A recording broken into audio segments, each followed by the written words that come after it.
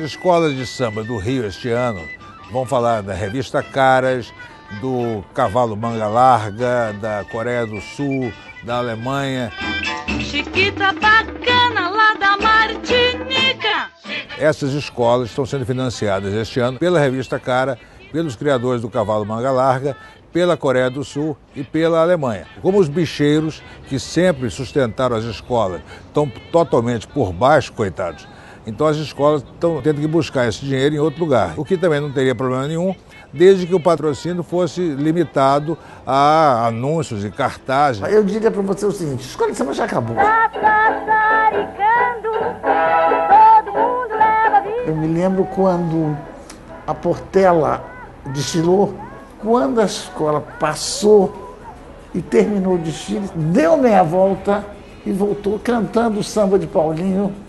Foi o rio que passou em minha vida. Ai, meu Deus, eu fico arrepiado de pensar. que passou em minha vida e meu coração se deixou levar. Então quem viu isso não vai ver agora, meu Deus, a escola cujo tema é o iogurte, né? Não é possível. O iogurte não é possível. Em 1750 já tinha carnaval no Rio. Durante todo esse tempo, esse carnaval se deu nas ruas, né, com gente fantasiada, com brincadeiras, namoro, muito amor, muitos beijos na boca. Não tinha camiseta, não tinha camarote, não tinha entrada comprada, não tinha nada. Você se ajeitava para ficar lá até meio-dia, uma hora do dia seguinte. 1970, 2000, isso foi declinando e aí subiram a escola de samba e deu-se essa ditadura da escola de samba. Milhões de pessoas em casa assistindo televisão, vendo alguns milhares se divertirem.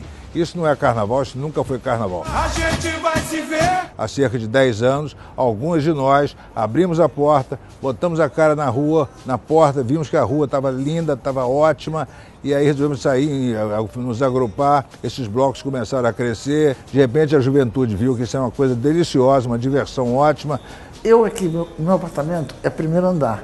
Então eu fico na janela como se eu estivesse num camarote. Ninguém dança.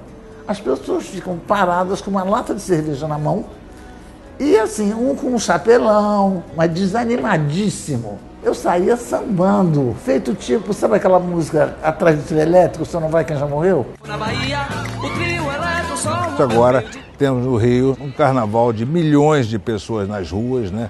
É, blocos com 30 mil pessoas, 100 mil pessoas. Bola Preta espera esse ano 2 milhões de pessoas na Cinelândia. Então, ou seja, esse é o carnaval.